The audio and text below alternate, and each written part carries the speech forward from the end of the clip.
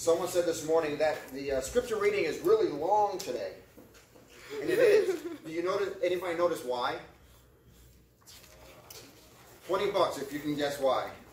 Jesus talking. Say again? Jesus talking. That wasn't just talking. That's not the answer. That was, I was close. I don't have 20 bucks on me. It's close. Any other, any other guesses? Jesus, uh, telling of his, you know, where he's gonna go. Yeah, he did, but that's not why. Again, my, my non 20 bucks is safe with me. One more guess. One more guess. Say it again? To fill up the page. We needed. No, that's not it either. Because that's where we left off back in July. We uh, actually went through the, the saying of Jesus, at least the word, the speaking of Jesus in July. And we went through verses 1 through about 14, 15. So I figured it's been so long since I've been here, let's get us back up to where we are. And so that's why that I said let's let's read through it so that I can just pick up where we left off. Yeah. So um, that's why I was long. Um, it's funny because I we come here on a Sunday, and I think I might have said this last time or somewhere. But we come here on a Sunday, and sometimes we forget why we go to church. Mm. And I tell you, I've been wrestling with that question for good six years. Like, why do we go to church? Like, why do we do this thing? Because it can become routine. It can be just something that we do. We know Sunday morning, 11 o'clock, soon to be 10 o'clock, we show up at church. Well, why? And I was reminded as, as I think I was traveling actually this morning, and I was just thinking, in Old Testament days, they didn't have access to the scripture like we do, mm-hmm. right? They couldn't just reach on a shelf, open up a book, and read God's word. So the reading of God's word was something that was precious. And it's still precious, even though we all have access to it. But people would gather to hear the priest read a portion of God's word. Mm-hmm. And simply what the priest would do is read the scripture. Mm-hmm. They would read what the scripture says, and then there would be leaders or elders or whoever would be around the synagogue to, to help to explain what was read in case the people did not know or understand mm-hmm. what the Lord was saying in prophecy or in whatever it is. They would, they would get understanding. My encouragement for us, myself included, is that we we don't forget how precious it is to hear God's word. It's precious.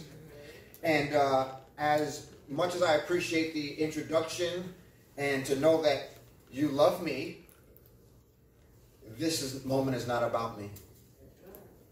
And it is easy to, I, we've been, been to churches uh, when, when I got saved, and my mom can vouch for it, where if the main preacher wasn't there, people would show up. And that still happens. When the main preacher's not there and you walk in the door, it's like, oh.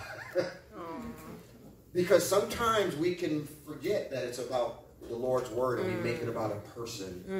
This is not about a person. This is about God's word. In fact, it is about a person. And the person is Jesus. So for me, all I do is sit here and read God's word and hopefully give you understanding into what he says. Uh, last thing I'll say before I, I, I jump into John 14 is I, I realized, I guess about a year or so ago, there are not many churches that simply read God's word and then dig into his word. Yes. And so I was convicted to, whenever I show up to preach anywhere, to read his word and let his word stand. Uh, and particularly in the uh, Wesleyan tradition or Wesleyan Methodist tradition, you just don't have a lot of preachers that open God's word and read the scripture and simply explain the scripture. It's really popular to have this series and that series and this, you know, theme and this fancy, fancy thing. And not a lot of people are saying, let's read the scripture. And uh, in fact, lately I've had I've heard pastors do that and they apologize. I'm sorry, it's going to be a lot of scripture today. And I'm like, what else are we here for? We want a lot of scripture. So I preface this message to say never minimize the importance of reading God's word. Amen. Amen. Uh, who's recent? Who, who recently had an eye exam? Anybody recently had an eye exam? Eye exam? How long ago? Uh, about six Okay, six weeks ago. You? How long ago? Maybe about a month and a half ago. A month and a half. Well, that's about six weeks. What to say? Five weeks. I hear three? I hear three? Three? when you go and have an eye exam, they, they make you cover one eye, right? And they make you read the. In fact, we were talking about glasses this morning, and they make you cover. And I did an eye exam about two months ago. They make you cover one eye, and then they ask you, "Hey, what line can you see?" And they ask you read the line, and, and you know the, the the lower you get, it's the smaller the the the the, the word the just say numbers, the letters are, right? And then they have you do it with one eye, and then they say cover that eye, and you got to do it with the other eye, and you know, and then I guess they're trying to see how strong your eye is, or what you can see, or what you can't see, and then you know they do the lens thing and you look together to see okay read it again. And so i always try i don't know if you're like me but i always try to memorize it so that when, which, which probably goes against what they're trying to do but I, if i memorize it then i don't feel so bad when i can't see that do you do that thing you ever do it no no it's just me I try to memorize it so I don't. I'm not embarrassed that I can't read the last line. I'm like, you know, making stuff up, and I'm thinking I got it. I'm winging it. Then the lights come on. I look. I'm like, oh, that was not a M. It was a G. Like, I tried. Um, how we see is important, and what we see is important. And I think it's cool that God gave the Christian the ability to see things that other people can't mm. see. It's good. It's hard, but it's really good. John chapter 14, I'm going to start reading at verse 15 and then we'll, we'll, we'll go. I'm going to try to get through the end of the chapter. Not sure if I'll be successful, but we'll try it. Verse 15 If you love me, keep my commandments, mm-hmm. and I will pray the Father, and he will give you another helper, that he may abide with you forever. The Spirit of truth, whom the world cannot receive, because it neither sees him nor knows him, but you know him for he dwells with you and will be in you. I will not leave you orphans. Mm. I will come to you. Dear Lord, I thank you for your word. It's precious. I thank you for the opportunity to even uh, to read your word out loud in the presence of believers. Mm. I thank you for the opportunity to understand your word and maybe help to open it up for us. I pray that in this moment, in this time, for the next 20 some odd uh, minutes, that you would allow me to disappear in this moment and allow your voice to be the voice that's heard. Lord, you know my preparation. You know the, the, the time that I put into this, and you know all this, the human effort that I placed. God, I don't rely on human effort. I am asking you by your Holy Spirit to inspire me as the speaker, inspire us as the hearers. May your voice be the voice that we hear. In Jesus' name. Amen. The reading of the word should change us. Should change us. Uh, when we started this, the series is called Jesus Said It. So all we're doing is we're looking at these passages where Jesus is speaking, the passages in red, and we're just seeing what Jesus said mm-hmm. and what he said and what it means. We started by looking at him, John chapter 10, as the good shepherd. And we talked about how he protects us, he watches out, he cares for us, uh, he leads us, he goes first. We follow him. He's a good shepherd. Uh, last time we, we talked about how um, if we ask anything in his name, he'd do it. Uh, we talked about how he's going to prepare a place for us in the presence of the Father. And it's not that he's just building us a little mansion so that we can live well, but he's, he's, he's, his sacrifice and his resurrection secures for us a place in the presence of the Father for eternity. And that thing about ask what you want wasn't, you know, you ask what you want, you're just going to get it, just using Jesus' name, and that's kind of the catch all phrase. Because, Troy, if that was it, banks would go out of business. Oh, if it was just ask whatever I want, using Jesus' name, and I get whatever I want, um, I like Big Macs. Anybody else like Big Macs? If, if the, Jesus, you don't like Big Macs? They're too messy. They're too messy. Too messy? if if I if in Jesus' name was the catch-all phrase, I would walk into McDonald's because when I was growing up, Big Macs were like two dollars and fifty cents. Now they're like twenty-five dollars. Like it, it, it's forever, you know, it's expensive. But I would walk into McDonald's and I'd say, "Can I have a Big Mac in Jesus' name and just get all the Big Macs for free. That's not what Jesus was getting at. It was under his authority as his representative for his glory. So anything that you ask for his glory, under his authority as his representative, he's going to do it because you're working with what he says.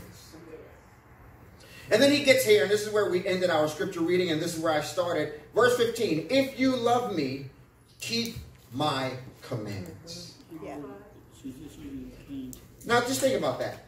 Jesus says, If you love me, keep my commandments. That's an if then. It requires something. If you love me, keep my commandments.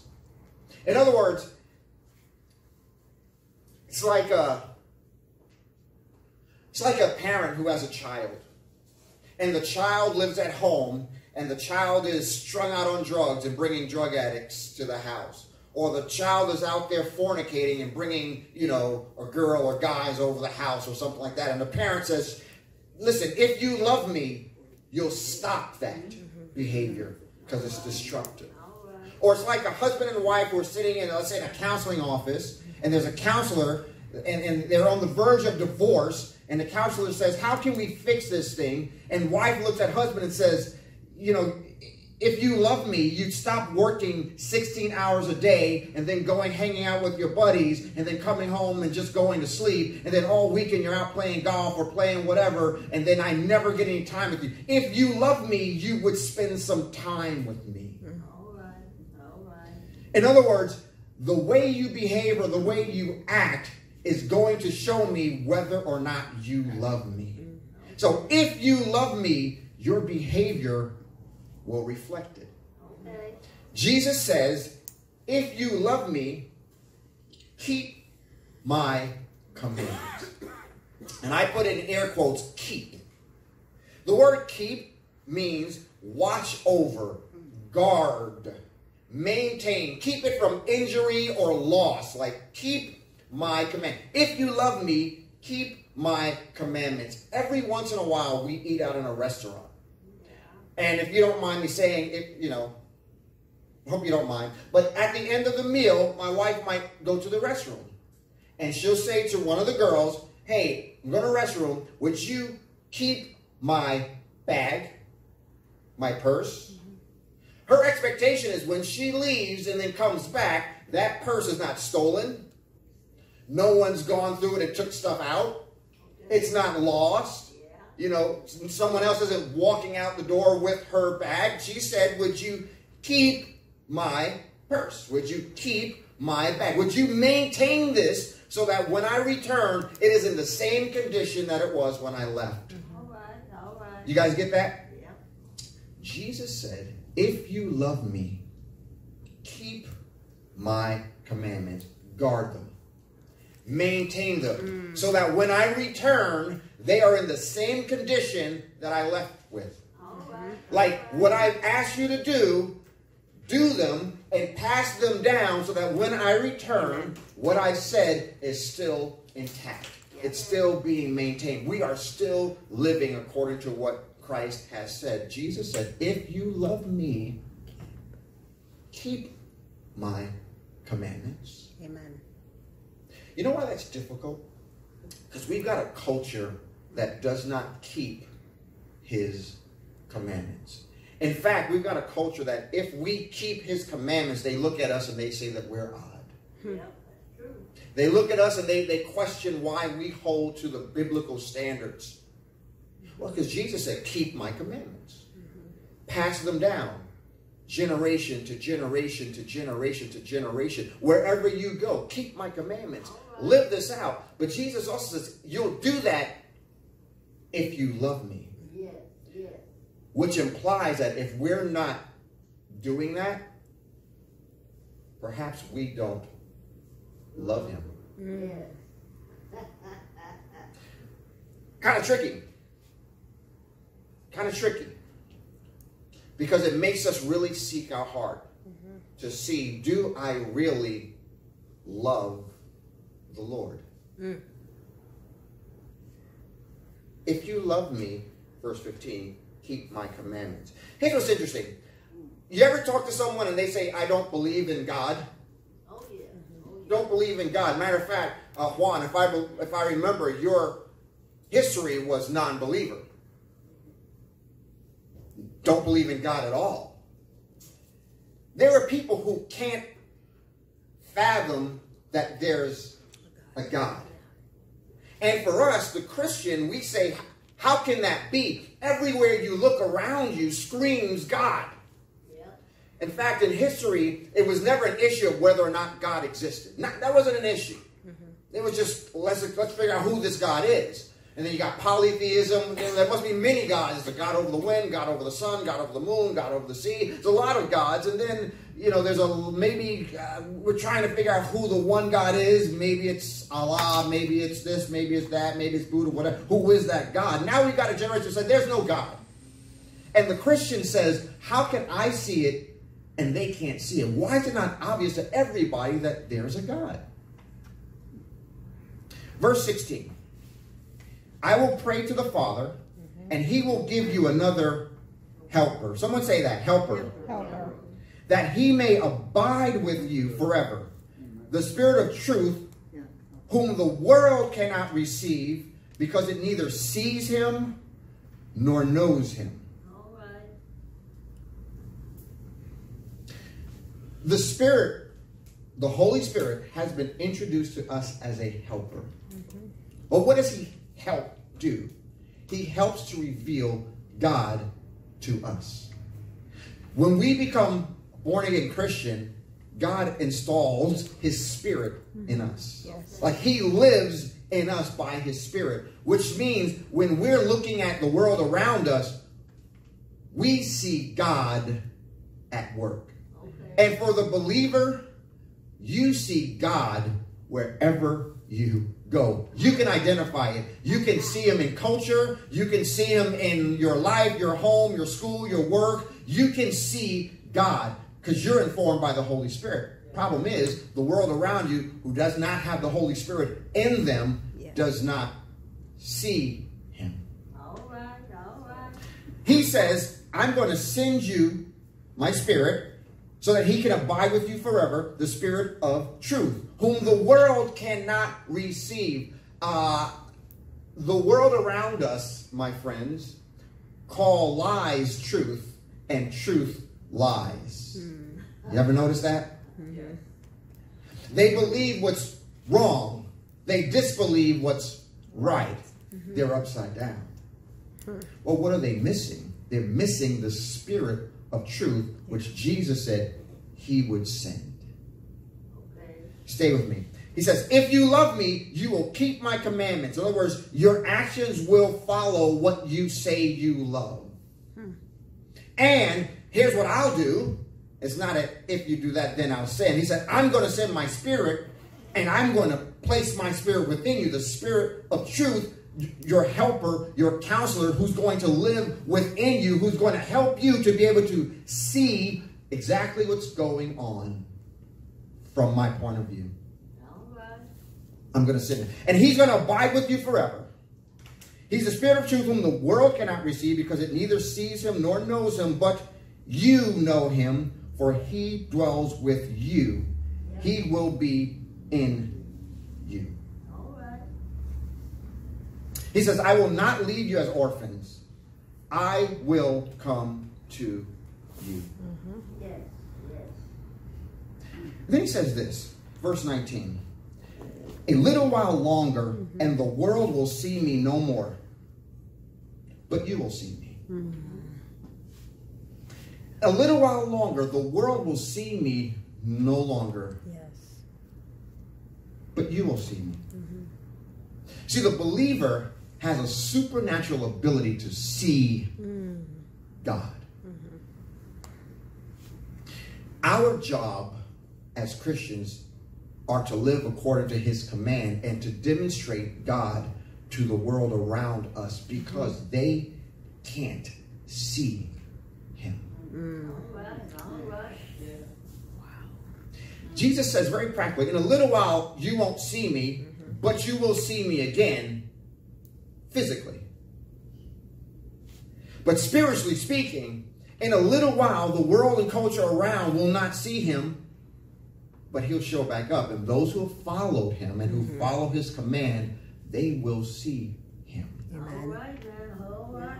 And so God has asked us to live in a way that demonstrates and displays who God is.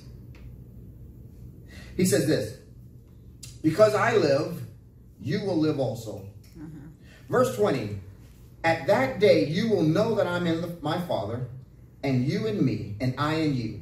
He who has my commandments and keeps them, it is he who loves me. Mm-hmm. And he who loves me will be loved by my Father. Mm-hmm. And I will love him, and I will manifest myself to him. All right. He mentions again this whole thing about loving him, keeping his commandments. Loving him, keeping his commandments. Having the word is not enough. Having the word is not enough. I bet you know people who say, I'm a Christian, and you look at their lives and there's no fruit. Okay. I bet you have people in your life who say, I go to church, and you look at their lives, and their life does not echo that. Doesn't demonstrate that. It doesn't show that. Right? Or am I the only one? No, no, I know, I know. Jesus says, He who has my commandments and keeps them, it is he who loves me. Having the word is not enough. It is not enough to just know the word. It is not enough to just know the commands of God. That is not enough. It's the one who keeps them, who guards them, who maintains them. That's the one who loves him. Jesus said this in, in Matthew chapter 7. Maybe you heard this. Not everyone who says to me, Lord, Lord, shall enter the kingdom of heaven. It is he who does the will of my Father in heaven. Many will say to me in that day, Lord, have we not prophesied in your name? Have we not cast out demons in your name? Have we not done many wonders in your name? And I will declare to them, I never knew you. Depart from me, you who practice lawlessness. Matthew 7 21. Jesus says, Not everybody who says that they're Christian are.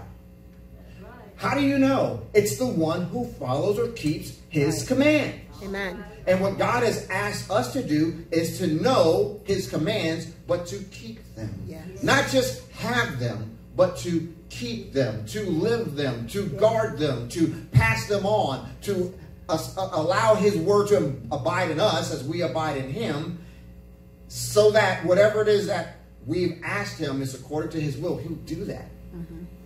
But not everybody does that. No. It is easy to know God's word. It's easy to know his command. It is much harder to keep his command. Here's what I was convicted about as I was I was prepping. For us, we can make an excuse to keep the commands that we like. Or the ones that we would keep anyway. Right? For me, I don't intend to walk into your local bank and hold them up and steal their money. So for me to not rob a bank, man, that fulfills his command, but I would do that anyway. You, you get what I'm saying? What Jesus says is, if you love me, you'll keep my commands. Not just the easy ones that you are going to keep anyway, but how about the difficult ones? Mm-hmm. How about the how about losing your temper? How about being jealous? How about being lustful? How, how about lying? How about fornication? Like, how about some of those harder ones that you're like, ah. how about the times that we would make an exception? I can do this, God will forgive me. All right. I wonder if our lifestyle is one where we make exceptions, do we love Him? Jesus had a way of lifting a bar pretty high. And what Jesus says is the goal is not to take the bar and bring it low so that I can easily scale it. The goal is to see that bar and say, God, make me more like you and All right. rise toward it. All right. Jesus says, if you love me, Amen. you'll keep Yes. my commands. Yes, yes. All of them. That means how we relate to him. Mm-hmm. Mm-hmm. That means how we relate to others. Yes. That means how we utilize our time, Yeah. how we utilize, utilize our resources. Mm-hmm. Whether we're praying. We've got in our bulletin here people to pray for and things to pray for. Well, it's easy to do that here because there's a leader that'll say the prayer here. What about when we go home? Are we still praying? All right now. It's easy to care for the ones that we run into that we like. How about the ones that rub us the wrong way? Do we still love them? Jesus says, if you love me, keep my commands. Because there's a world that's watching you. And that world can't see me. But man, if I put my Holy Spirit in you and you live according to my commands. They're going to see me through you. Our, our, say our faith, our denomination, our um, theology, we talk about prevenient grace. Are you guys familiar with that term at all? Prevenient grace. P R E V E N I E N T. Grace. Prevenient grace. It's, it's the grace of God. It's the, it's the action of interaction of God and humankind that draws man to him. And you can be drawn to him and not even realize what's going. It's God's grace that's saying, I'm, I'm trying to get a hold of you. Many people think that the moment of salvation is because I came to the front, I said some words, and I walked out, and now I'm saved. And then you look at their life and you're like, nothing's changed. Mm. You said words, nothing changed. Well, that moment at the at the altar might have been God drawing you, His prevenient grace. He's drawing you to. Him. He's saying there's there needs to be some sort of change, and you might say, you know what? I think I need to get back in church. That doesn't happen because of you. That happens because of His prevenient grace. He's drawing you. You might say, you know what? I need to get into a Bible study. I need to learn more about God. Well, that's not because you know you're all super righteous. God drawing you. Mm-hmm. You might say, hey, I need to go to Bible school. You know, I want to make this a career. It's God's prevenient grace. He's drawing you. He's drawing you. But at some moment, one makes a decision for Christ to say, Lord, I want to follow you. All right. And when you make that decision to follow him, what you're saying is, I love you enough to obey your commands, All right. All right. your All right. words. Mm-hmm. For us as believers, we've got to understand why we're here. We're not here to pass an hour on a Sunday. We're here to hear God's word, to see what does God have to say about whatever topic, specifically about our lives as believers. What he said is that if we're going to really love him, it has to show. How does it show? We follow, we keep, we guard his commands. Oh, and then we understand the world can't see him. You know, if they if they took a God eye test, they'll miss it every time. Mm. And they're not even on the chart. Mm. And so we have to be the bigger letters. Well, how do we do that? Well, God pours his spirit in. And when he pours his spirit in us, when he places his spirit, he lives in us. He's our counselor. He's our helper. He will abide in us. He will help us to live the life that God has called us to live. He strengthens us to do that. He does that. And then the world starts to see us and God through us. In fact, Jesus says, uh, we'll come back and we'll, I'll live in him. I'll live in you. Just like the Father was in me, I'll be in you. Like, we're going to be present in the believer to live this out. We're not to take the bar and bring it low, mm-hmm. make it easier to scale, but we're to see the bar and say, Lord, help us to rise up. All right now. Mm. It's what God has called us to do. And it's funny, we're not going to get this today. We won't finish the chapter, of course. But Judas asks a weird question. Judas says, Lord, how is it that you will manifest yourself to us and you're not going to do it to the world?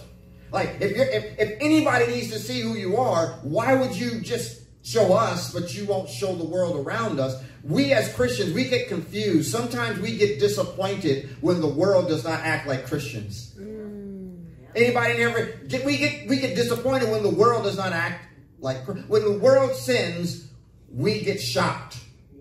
How can why, why are they acting like that? I can answer that. Because they're sinners. They're doing what they're supposed to do. Now, when the believers act like sinners, that's when we should question that. What Jesus has said is like this listen, there's a world that can't see me. There's a world that can't see who I am. They need to see me. They need to know who I am. How are they going to do that? By the way my called out ones, my ecclesia, mm. the way we live. Jesus. Well, how are we to live? We're to live like we love our God. Well, what does that look like? We keep his commands. Every one of them. Mm-hmm. Will we be perfect? Of course not. Is that an excuse? Of course not. Hmm. Of course not. I don't want to make excuses as to why I don't love my wife. I do. What I would need to do is love her. You get what I'm saying? We don't make excuses as to why we can't live out the Christian life. Well, here's my excuse. Can't do it because I'm human. No, no, no, no, no. The bar is high. Rise to it. Yes. You can't do it on your own. That's why he sent his spirit. And his spirit empowers us. We have a world around us watching. And they're not watching us for any other reason than we're all trying to get to the same place. I don't care what your political party is. We may not have political, uh, you know, uh, political views that all match up, but somehow we're hoping for peace in our world and peace in our land and to be able to live our lives good. And we're all trying to get there, right? I, I don't, you know, all different religions, uh, you know, are trying to get to God somehow, and maybe we don't see eye to eye, but somehow we're, we're trying to get to God, and, and you name it, there's generations, every generation, you know, the younger generation pushes against the older generation, and I think we've always done that. Every generation has pushed against the older generation, and we look at the younger generation and say, they are nuts, like all of us, because we're all trying to get to the same place. We kind of want, you know, to live well and have our society go well, and like we're all trying to get to the same place. The problem is, they don't know the way to go. So what God has done is He said this: the world can't see, mm. but you can. Mm-hmm. So since you can see, how you live matters. Well, how are we to live? We're to live like we love God. Mm-hmm. What does that look like? Our passion, our heart, our goal. Keep his commandments. If you don't know what his commandments are, they're in the book. They're in the book. Mm. Bare minimum, love God, love others. Another one, go out there and make disciples, preach the gospel. They're in here. My friends, there's a world that's watching. How we live matters. Don't let church moments reside or remain church moments. Let's live this out so that a world around us can see what we see. Oh, Would you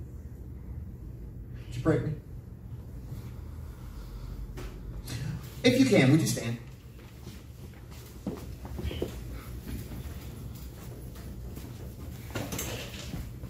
God, I love your word. I love your word. Your word is true. It's obvious. It's maintained through history. And it sets a standard that's high. You didn't make an exception for these followers of yours. You said, if you love me, you'll keep my commandments.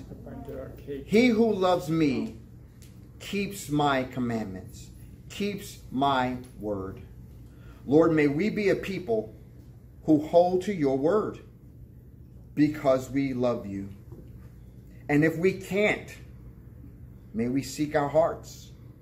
Make sure that we do love you. If there's anyone in this room who has not given their lives over to you, may we do that today. And God, you promised you would give us your spirit. Oh, what a blessing. We don't even understand how good that is. Your, your spirit allows us to see what the world can't see. When we look around and people make statements or culture goes a certain way and, and, and they can't see how lost they are, Lord, by your spirit, we understand. Lord, may we share this message. May we share our faith. May we share your word. May we live this out in a time where the culture uh, stands against Christianity, Christ, God. May we be people who represent you honestly before a culture that desperately needs you. Lord, may we be ones that love one another, that gather together, that lock arms together because of our love for you. May we go into a world that's lost. May we show them who you are. Father, I thank you for your precious word. I thank you for this word spoken to these disciples here in John 14. I pray that as we continue to run through what you've said, that we take it to heart and that it challenges us and changes the way we live day to day. Lord, may your blessing and your grace be upon each one of us. In Jesus' name, amen. Amen.